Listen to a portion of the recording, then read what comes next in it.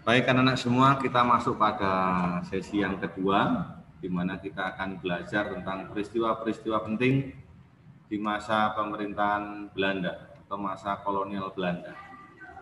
Nah, seperti yang sudah diuraikan pada pertemuan sebelumnya bahwa Belanda datang ke Indonesia itu di bawah pimpinan Cornelis de Houtman.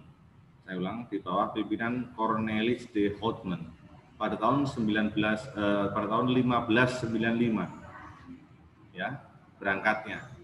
Dan sampai di Indonesia pada tahun 1596 berarti satu tahun perjalanan. Kemudian ia mendarat di Banten. Nah pasca pelayaran di Hotman banyaklah perdiri perusahaan dagang Belanda yang disebut sebagai VOC ya VOC itu adalah perusahaan dagang Belanda yang disebut VOC dengan kepanjangannya adalah Verenigde Oostindische Compagnie ya. Verenigde Oostindische Company. Itu pada tanggal 20 Maret 1602. Nah, tujuannya apa tujuan VOC ini? Yang pertama, Alan, menguasai pelabuhan-pelabuhan penting di Nusantara. Jadi mereka sudah memiliki pandangan bahwa untuk mencapai kemakmuran atau kejayaan, maka semua pelabuhan-pelabuhan harus dikuasai. Ya. Dua, menguasai kerajaan-kerajaan yang ada di Indonesia.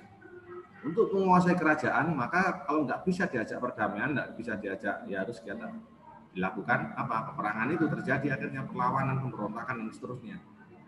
Karena mereka e, beranggapan bahwa dengan menguasai kerajaan maka daerah wilayah jajar mereka akan semakin luas melaksanakan monopoli rempah-rempah. Semua para petani, rakyat saat itu tidak boleh memberikan hasil panennya kepada orang lain selain kepada VOC atau ya tadi ya Vernahe Ausländische Company.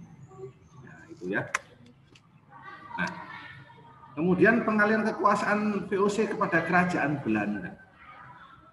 Itu terjadi sekitar abad ke-18, kejayaan VOC mulai merosot kejayaan VOC mulai merosot pada akhir 18. Banyaknya apa? Banyak korupsi.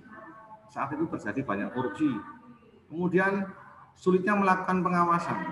Jadi jenderal-jenderal Belanda saat itu sulit masih apa kekurangan orang ya, kekurangan prajurit, kekurangan orang-orang yang pintar pula, sehingga sangat sulit. Kemudian itu faktor internalnya. Nah, faktor eksternalnya apa? Meletusnya revolusi Prancis di bawah pimpinan Napoleon Bonaparte. Nah, yang meletusnya revolusi Prancis. Yang kedua, penentangan rakyat Indonesia terhadap VOC dalam bentuk peperangan. Ini menyedot perhatian eh, perhatian semua ya, artinya semua warga masyarakat pada saat itu, rakyat pada saat itu. Sehingga harus mengeluarkan biaya. Untuk perang itu Belanda juga mengeluarkan biaya maka bukan hal yang mudah bagi Belanda untuk menaklukkan Indonesia saat itu.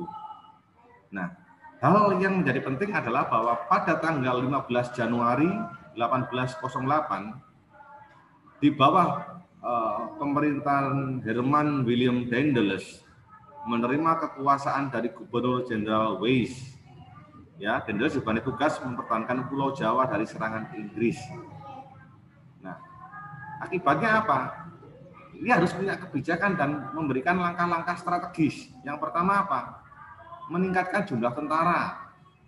Yang kedua, membangun pabrik senjata di Semarang dan Ambarawa saat itu, termasuk di Surabaya.